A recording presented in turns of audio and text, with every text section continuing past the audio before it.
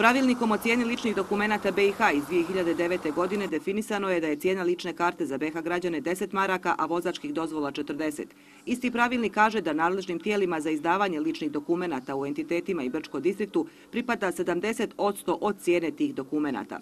Podsjećamo, predsjedavajući savjeta ministara, tada je bio Nikola Špirić, a resorni ministar za ta pitanja, ministar civilnih poslova Sredoje Nović. Novim pravilnikom, usvojenim u Savjetu ministara BiH u novembru 2012. godine, kada je Špirić bio ministar financija, a Nović i dalje ministar civilnih poslova, cijena ličnih karata povećana je na 18, a vozačkih dozvola na 60 maraka. Tada je definisano i da nadležnim organima za izdavanje dokumenta od cijene lične karte ne pripada ni pening, dok im od vozačke dozvole sleduje samo 20 maraka. Tom promjenom, osim građana koji plaćaju veću cijenu dokumenta, oštećeni su i entitetski i kantonalni mupovi.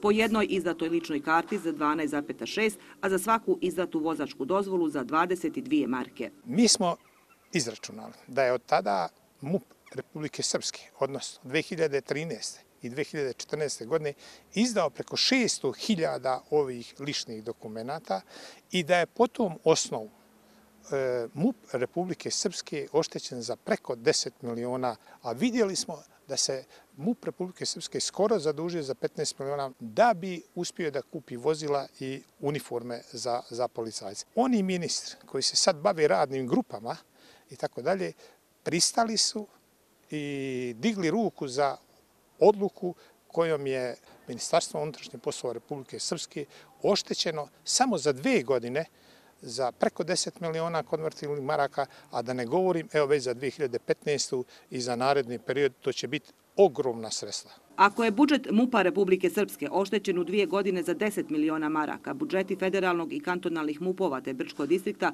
oštećeni su za 20 miliona.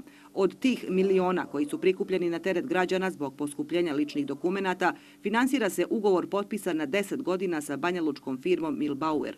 Da je ugovor prepun nepravilnosti, zaključila je i Kancelarija za reviziju institucija BiH, a istraga se vodi i u tužilaštvu BiH.